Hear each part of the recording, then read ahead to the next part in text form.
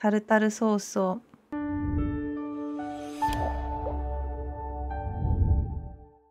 こんにちは、さゆりです。このポッドキャストでは日常のことをわかりやすい日本語でゆっくり話します。今回はチキン南蛮について。はい。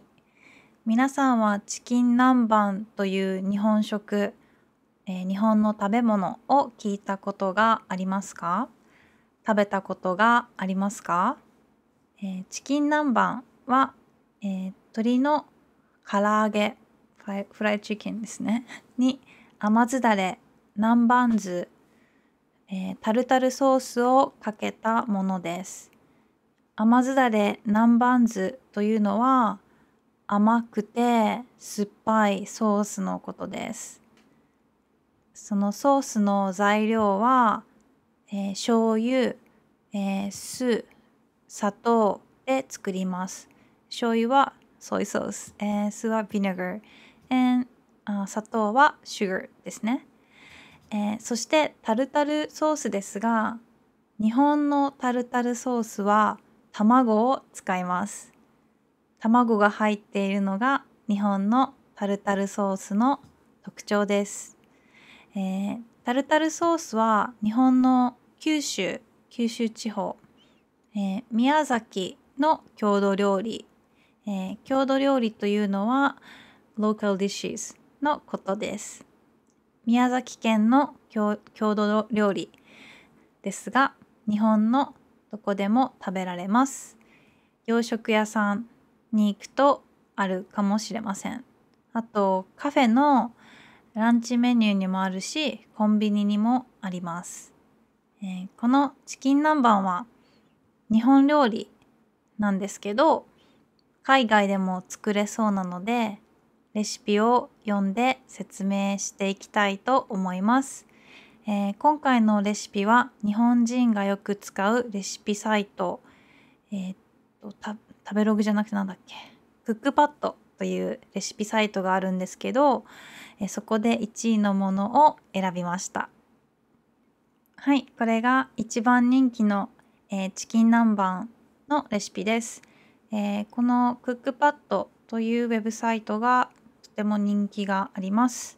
はい、えー読んでいきましょう、えー宮崎名物の本場チキン南蛮です。とっても簡単なのに本格的な味です。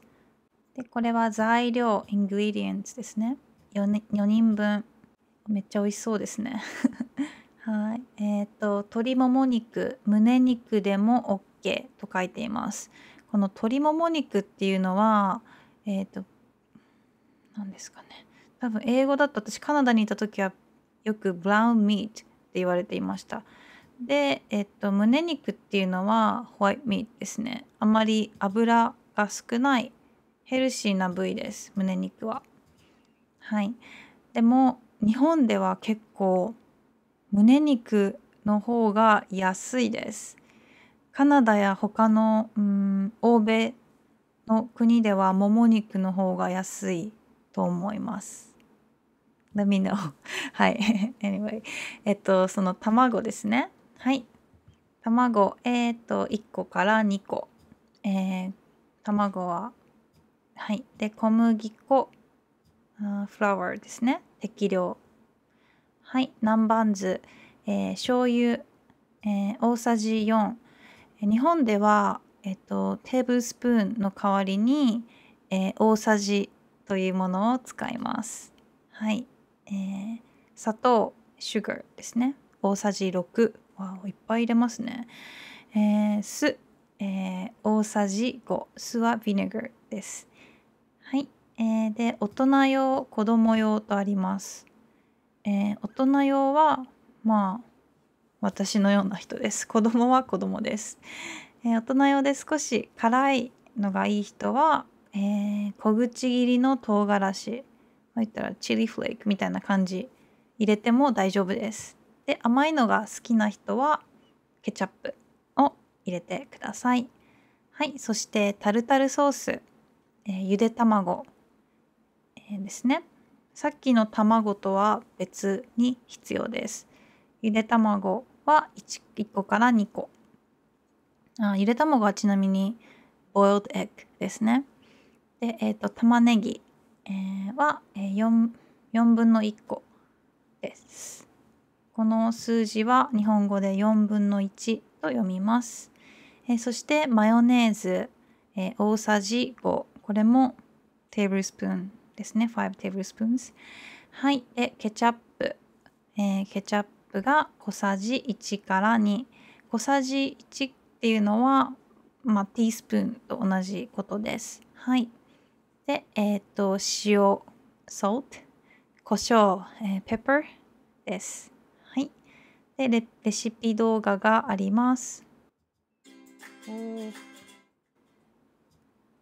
はいこんな感じでタルタルソースをまずはじめに作ります、えー、そして南蛮酢を作ります。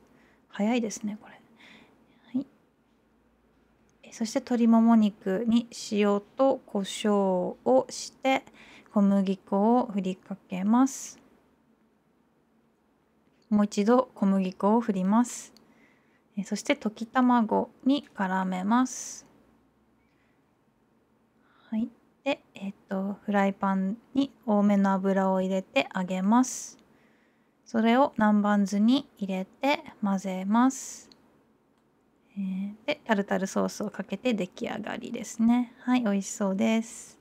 すごい。でここに詳しい作り方も書いています。で、えっと、そうですね、お弁当にも、えー、人気です。はい。はい。で、コツ、ポイントがあります。えー、鶏胸肉で作るとさっぱり、もも肉で作るとジューシーです。さっきも言ったように、鶏胸肉っていうのはホワイトミートなので、あの脂肪が少ないです。で、えー、もも肉で作るとジューシー。になります。えー、タルタルがなは時間がない時なんかはゆで卵とマヨネーズとケチャップを混ぜたものでも OK お弁当にもいいですよ。はい、でその他のポイントとしてキャベツやスライス玉ねぎ、えー、レタスピーマンあちなみにピーマンっていうのは えっ、とペッパーのことですベルペッパーのことですねカプスカムですね。はい。で、人参、人参はキャロットですね。はい。そういう野菜も一緒に添えたり、肉の下に置いて出すとマニマリネみたいで美味しいです。まあ、添えるっていうのは一緒にプレートに盛ることです。はい。いかがでしたか？お腹が空いてきました。ね。はい。えー、じゃあ今日はこの辺で。バイバーイ。